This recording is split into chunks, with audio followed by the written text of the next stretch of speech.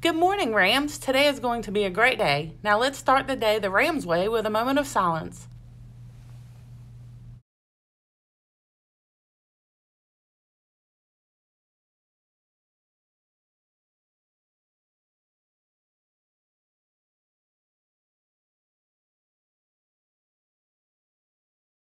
Please stand for the Pledge of Allegiance.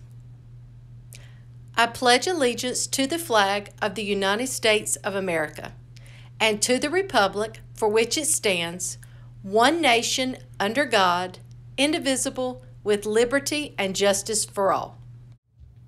Hi, I'm Miss Hassick, and I'm here to recognize the February Students of the Month. The character trait was February for February was critical thinker and inquirer.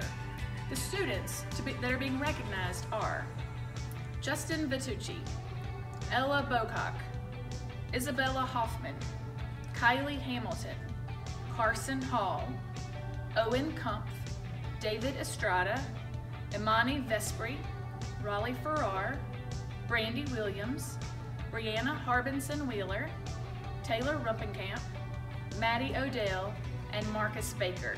I'm really sorry if I messed up somebody's name. If you are at school Thursday or Friday, please come see me for your treat.